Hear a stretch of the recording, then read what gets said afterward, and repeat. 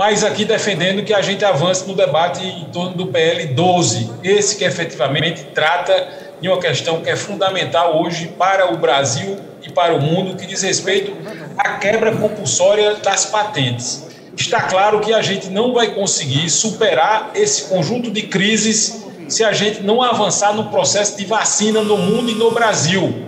E só avançaremos nesse processo se a gente garantir produção mais ampliada de vacinas, para que essa vacina chegue a todos os povos de todos os países. Esse é um debate mundial que precisa avançar e o Brasil tem instrumentos para avançar. Para que a gente avance, a gente precisa ter a aprovação do PL 12, que quebra de forma compulsória essas, essas, essas patentes e a gente possa produzir vacina para todo o povo brasileiro.